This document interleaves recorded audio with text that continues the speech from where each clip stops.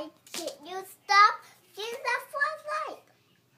It's not a scary flashlight,